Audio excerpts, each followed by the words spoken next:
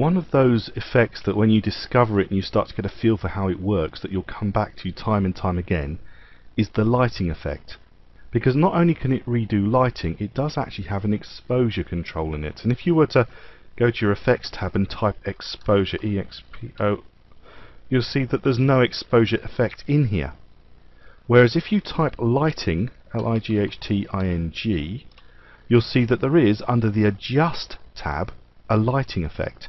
And if you take the lighting effect and apply it to the clip here it comes up with this initial look which we can play with but under this particular instance we can use it to add volumetric lighting.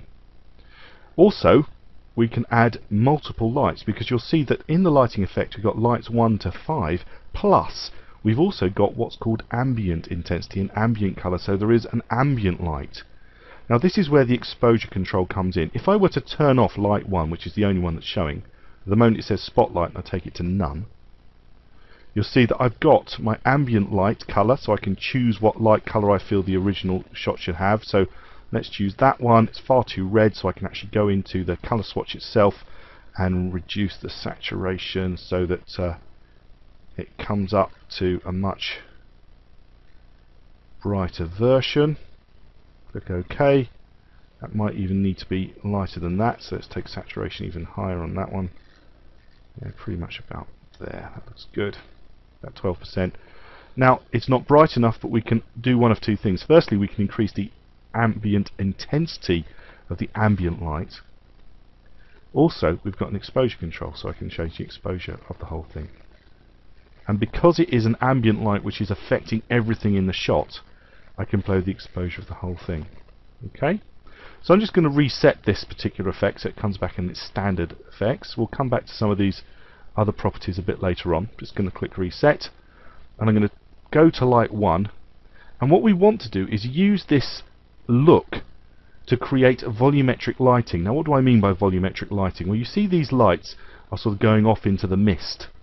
That going off into the mist is the volumetric. It looks like the lighting is actually shining into the mist. And what we can do is we can use this light, this first spotlight and as many other spotlights as we like, to apply them to each individual one of these lights to give the look of volumetric lighting. Now obviously we need to go straight back to make sure that our ambient is set right. So let's just very quickly play with the ambient lighting. So we want something like that. Again if we go back to our colour swatch, I'm just going to drag it to quite nice and bright on this particular instance. Okay, so that's about right and the ambience can go up a little bit. In fact, I want to want the uh, intensity up quite a bit for the way that we're going to do it because this particular spotlight is going to be very little. We're not going to have a lot of effect on it. Now notice that lighting effect has also got the little box. If you click on lighting effect, you'll see that you can actually get hold of the light itself. You can start to make changes. Um, you can angle it as well. So you can either click and drag or you can open up the, the, the twirly next to the word angle and decide how you want to angle it. So I'm going to want to angle this one down, I think. Probably something like that. Okay, and I'm going to want to have it applied to this particular item over here. So we're going to want the whole light to, in fact I've got that completely upside down, so let's just change the angle so it's around completely the other way. There you go. That's about right and I'm going to just grab it, click on the middle and pull it down and you can see that we're beginning to get the look that we're after. So you can decide whether you want to have a nice wide beam coming out of it or a narrow beam coming out of it. You can change the intensity by using the major radius. Where's the light coming from, if you like. When you pull the major, major radius down, you can see it's either going to come from the middle of the effect or from wherever it happened to be. However, when you do that, it resets or it can reset the minor radius which is the basically how wide the light's going to be. And then you can also go down to the intensity and you can increase or decrease the intensity of that light to give more or less of a volumetric look. You can even focus the light. So how much or how little of it is going to fill that gap volumetric lighting on the whole is not too full so that looks pretty good for the first light so we can look at that one, click away. That's beginning to give us what we like, but the rest of the background's not quite bright enough. So again, we can go down to the ambient light and we can turn the intensity of that up a little bit more. And I think that this first light actually needs to be changed, not quite in the right place. So I'm just going to, again, click on there and pull the whole thing down just by clicking in the middle. This is light 1, so it's just coming out from the bottom of that effect. And possibly turn its intensity down a tad. Just a little bit too bright for what I'm trying to achieve, I think. Let's just take it down. So it's just noticeable but not overwhelming. There you go, click away to have a little look at what it looks like. So we've added an effect. I'm going to click back on the layer. We can go in and we can change the intensity of the ambient light. We can do whatever we want to to get the overall effect. So if we do a before and after by turning off the lighting effects before and after, and we've added in a beautiful volumetric lighting effect, and notice that we've got a whole bunch of other lights. There are different types of light, by the way. At the moment, we've gone for a spotlight. There are directional lights, which are quite hard to control, if I'm honest with you, and also omni lights. And omni light just affects everything. But you can decide how big that area is going to be with an omni light. We'll deal with that in another example. So that's the first example. We can create volumetric lighting to these lights and give us a completely relit look. Again, we'll do before and after. A great look. So let's try another example. Now, in this particular one, this shot has got a few problems. Because it was so bright, the dark's looking really dark and you can't really read what's going on over here and the brights are kind of overwhelming us. What we can do is use the lighting effect to relight this scene entirely. So I'm going to take the lighting effect and drop it on. And what we might want to do is, again, click on lighting and have a little play with this first light. So I'm going to open up light 1, open up its angle and perhaps change it. So here we are, we've got the light coming in about the right place. We can perhaps pull it out a bit. This is roughly where we want the light to be affected.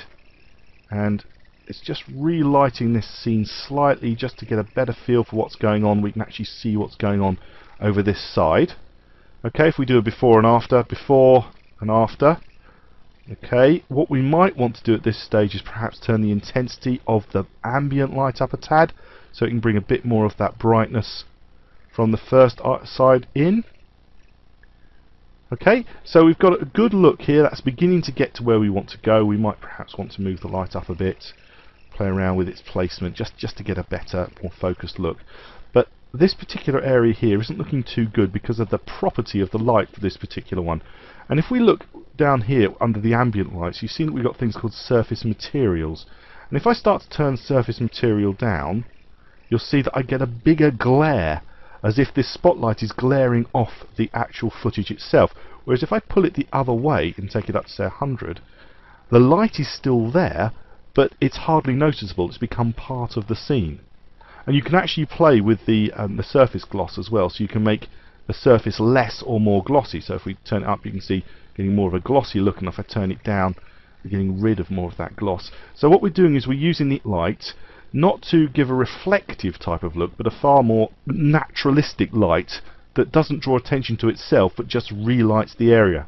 Now there is this little bit at the bottom about bump, and that can make things stand out a little bit more. So say we want the features of this wall perhaps to shine out a little bit more.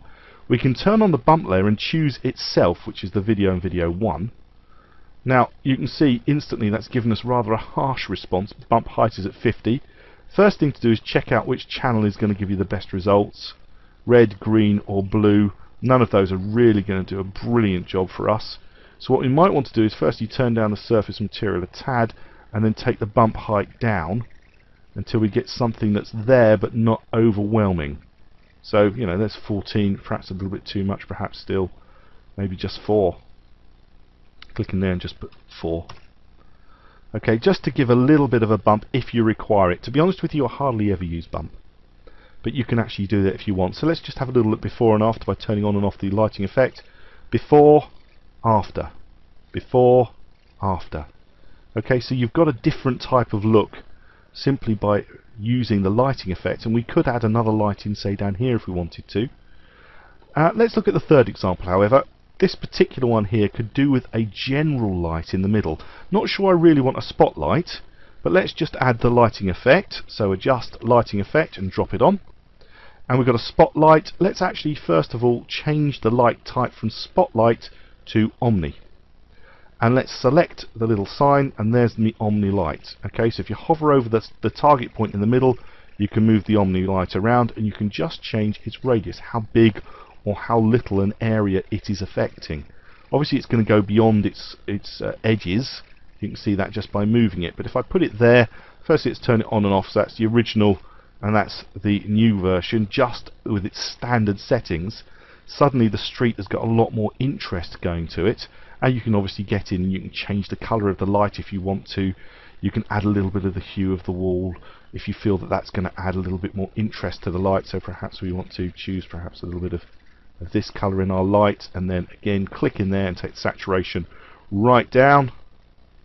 Perhaps turn the brightness down as well so we get a little bit brighter. There you go. So we can actually play around and actually add some of the colour back in by changing the, the colour of the light itself. And of course you can animate these things. So you can animate the light's radius, how much it's going to affect the whole thing. To give you more of a reveal or you can animate the intensity you can relight a scene entirely just by playing around with these different bits and pieces. And of course we can still change our ambient intensity. So I can still turn my ambient intensity up and I can turn the lighting effect off before and after before and after. And I'll tell you what this is really powerful for. If you've got a picture of somebody with the sun behind them and you've made a real effort to get a picture of them but all it's doing is looking at everything else around them and they're black in the middle well the pixels are still there. All you need to do is get in there with a spotlight or with a, a an Omnilight and set it up so it's the right size for whatever you're looking at and you can relight the middle and still have a nice looking shot so even if you've made a mistake with your exposure and what have you, you've got exposure controls and you can get in with this incredibly powerful lighting effect to relight scenes entirely with multiple lights just to create far more exciting looks because you've played around with this this this very powerful effect saving shots just by moving through it with the lighting effect. So I'd encourage you to get playing with the lighting effect once you've found you've got the lighting effect and you're using it and you know it's part of your, your effects arsenal, you will use it quite a lot.